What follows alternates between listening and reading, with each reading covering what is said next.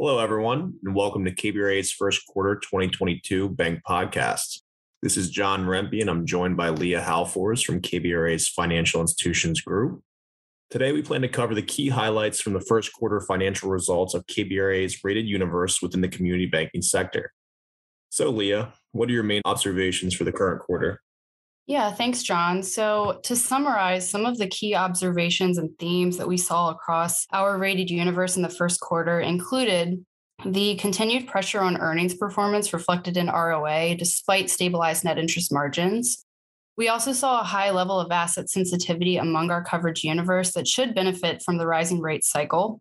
We noted that core capital levels, namely the CET1 ratio, remained stable despite continued returns to shareholders and loan growth.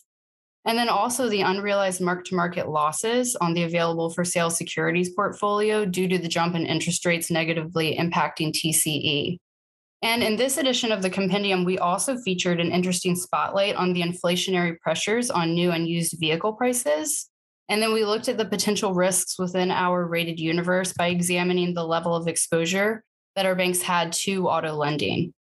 And then lastly, John, our compendium includes a quarterly ESG bulletin, which highlights a rated name each quarter, and then also provides the latest updates from regulators on the ESG front. Thanks, Leah. Next, I'll break down some of the key highlights. First, earnings performance. So, profitability trended lower for the quarter, with median ROA reflecting a nine basis point decline to 1.11%. And some of the reasons behind this were the absence of extraordinary revenue drivers from 2021, which includes normalization or dissipating mortgage revenue and uh, PPP fee income. Um, additionally, the extreme volatility of the markets, both in equity and fixed income, also negatively impacted wealth management revenue. It's also worth noting that there's been an elevated focus on banks' overdraft fees in recent periods, with several KBRA rated banks announcing that they will waive or adjust their NSF overdraft fees moving forward. However, in our view, banks will clearly work to replace this lost revenue with additional sources of fee income. However, we expect fee income to face some pressure moving forward. With regard to NIM, it stayed relatively stable with a slight median decline of two basis points to 315 for the first quarter of 2022. This is despite a large portion of the KBRA coverage universe shifting its earning asset mix into investment securities in prior periods, which helped bolster interest income, but at the expense of their margins. A key driver behind the NIM stability was solid loan growth, even robust at times, as well as continued reduction in funding costs, albeit at a much slower rate. However, this was offset by lesser of an impact of PPP interest due to the forgiveness process being mostly finished. The median loan loss reserve position declined six basis points in the quarter after last quarter's five basis point decline. However, loan growth played a larger role in the first quarter than in previous quarters on the decline in reserve positions. Lastly, KBRA recognized that fewer rated banks recorded reserve releases in 1Q 2022 compared to the prior quarters. Yeah, thanks for that earnings breakdown, John, and certainly different from what we saw this time last year. As we look forward with loan growth picking up and a Federal Reserve committed to tackling inflation with higher Fed funds rates, KBRA evaluated the asset sensitivity of our coverage universe of public banks to see how the higher rate environment may impact their earnings profiles. And the way that we evaluated that, John, was by pulling the percent change in net interest income if rates were 100 basis points higher as of year end numbers. And what we found was that overall, the mean rate was 4.5% in an up 100 basis point scenario and 8.1% in an up 200 basis point scenario. And then if you isolate only the asset sensitive banks, the mean rate was 5% and 10.5% respectively for each of those scenarios. We also found that our top 15 most asset sensitive banks saw the percent change in net interest income range from 10.2% to 59.7% in an up 100 basis point scenario. And a key attribute that underlies many of the top 15 most asset sensitive banks is extremely low funding costs, primarily from their low cost core deposit basis. And then the floating rate earning assets are another contributing factor to elevated asset sensitivity. So then, John, if you isolate the liability sensitive banks, the mean for the up 100 basis point scenario was negative 0.92%, and then negative 1.5% in an up 200 basis point scenario.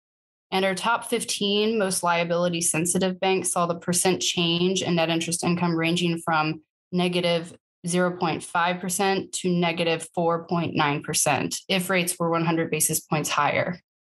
As we look to future earnings expectations, KBRA believes that due to the moderate to high overall asset sensitivity of the institutions that we cover, and in conjunction with healthy loan origination pipelines and declining paydowns, we expect NIM expansion in the second quarter of this year. And that should continue into the second half of the year as well, as deposit betas are expected to be low during at least the first 100 basis points of interest rate increases due to banks remaining flush with significant amounts of non maturity core deposits. Thanks, Leah. And next, let me touch on capital. So, median core capital levels, as measured by the CET1 ratio, remained relatively flat in 1Q 2022, as returns to shareholders and growth in risk weighted assets were balanced against a slightly lower earnings profile for the industry. The larger story related to capital was the 50 basis point decline in the median TCE ratio, largely stemming from the unrealized mark to market impact on the available for sale investment security portfolios, negatively impacting the accumulated other comprehensive income component of capital due to significant yield curve changes during the first quarter. The AFS security portfolio accounts for roughly 15% of total assets, which, which are exposed to valuation impacts as interest rates rose and drove down prices of fixed income securities. Some banks shifted a portion of the AFS securities into held to maturity, which does not get marked to market each quarter. From a regulatory perspective, banks that are not subject to the advanced approach regulatory framework have the option to opt out of including AOCI in their regulatory capital calculations. And all the KBRA rated banks included in the, in the compendium have opted out and do not include AOCI in their respective capital measures. Moving forward, KBRA expects capital management to be aggressively managed as banks continue their repurchase programs and also experience loan growth focused in commercial loan categories, which typically carry higher risk weightings rather than consumer oriented categories. Yeah, good color on capital there, John. As I mentioned earlier on, in this edition of the compendium, we also focused on the auto loan segment and the underlying inflationary pressures Um, how higher auto prices have impacted growing loan balances, and then also potential concentrations among the KBRA rated universe should payment disruptions occur in the future. Overall, only seven of KBRA rated banks have auto lending exposure of greater than 10% of their respective loan balances, with three of these institutions having exposure representing greater than 100% of risk based capital. KBRA views these auto risks to be manageable for these seven institutions as the loss absorption factors have been boosted over the last year with higher loan loss reserves and core capital. Moreover, we found that these institutions are selective on the borrower front and have steered clear of subprime auto lending exposure. With that said, though, we will continue to monitor for an uptick in delinquencies or loss rates, which have been fairly contained since 2018 and have been supported since the onset of the pandemic by the significant amount of government stimulus. Finally, John, I would also remind our listeners that our compendium includes a quarterly ESG bulletin. And for this quarter, we featured PacWest Bancorp, as well as provided the latest regulatory developments on the ESG front, which included a summary of the March 2022 vote, where the SEC voted three to one in favor of proposing requirements for climate disclosure on annual statements for publicly listed companies. And we think that this would provide consistency across industry reporting. So, certainly an ever evolving topic that we will continue to monitor for new developments. Well, listeners, that's a wrap for our first quarter Bank Compendium podcast, and we hope you found it to be useful. We would encourage our listeners to read the compendium research piece for more in depth information on all of the KBRA rated publicly traded institutions. We look forward to speaking with everyone again next quarter. And as always, you can find all of our research at www.kbra.com and have a nice day.